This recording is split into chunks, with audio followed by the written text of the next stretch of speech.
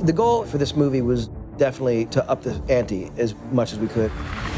There were a lot of characters that people were anticipating seeing. Kirk and Spock, Bones, Scotty, Uhura, Chekov, and Sulu. I am more excited than I can tell you.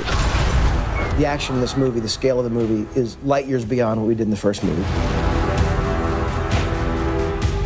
It was pretty magical to see what they were able to create this time. I think it's stunningly beautiful. The word I keep on coming back to is just relentless. There's one thing after another, after another, after another. This is the kind of film that 3D was made for.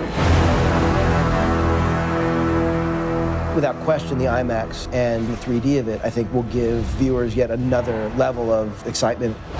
This movie was the most fun and challenging experience that I've had. This is like everything I've ever done wrapped in, in one movie.